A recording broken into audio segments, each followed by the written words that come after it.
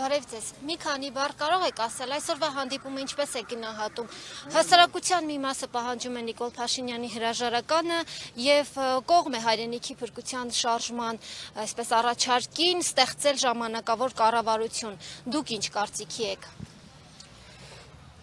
Ներկայիս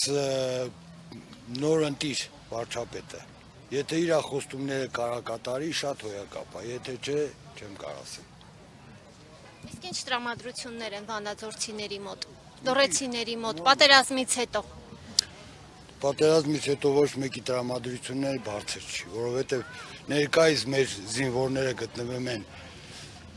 գերության մեջ եւ կան կորուստներ, որ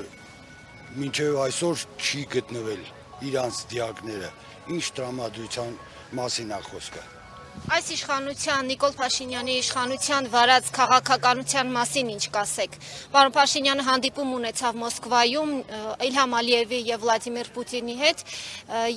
եւ ռազմագերիների հարցը այդպես էլ չլուծվեց։ Ինչ սպասելիքներ կան։ Ոչ մի պատասխան չեղավ։ Ռազմագերիները էլ ոչ մի բան չիմացանք։ Ինչ կատարվեց, ինչ եղավ։ Ինչ սպասելիքներ ունեք պարոն Փաշինյանից։ Առաջարկում է նոր ընտրություններ։ Դուք որևէ սպասելիք ունեք այս իշխանություններից։ ընտրություններ, նոր ընտրությունները նախ սկզբնական պետքա որոշվի այդ զինվորների հարցը վերադարձը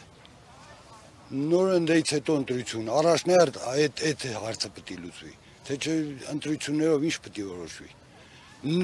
նոր եկող իշխանությունը ի կարողա այդ զինվորներին բերի տուն